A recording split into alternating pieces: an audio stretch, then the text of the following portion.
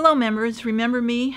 I'm your 2020 president of the Tri Counties Realtors Association, Mary Harman. I want to invite you to attend a legal panel. It's February the 26th at the Diamond Bar Community Center. Registration is at 9 o'clock in the morning. It's going to be at the Diamond Bar Community Center. This is an event that's well attended, so make sure you register early. And it's free, free, free. John Giardinelli, our attorney, will be there. We will have an attorney for CRMLS. We will also have an attorney there for estate planning, probate, and evictions. And our moderator is going to be a professor of real estate from Mount SAC. Hope to see you there, and Happy New Year.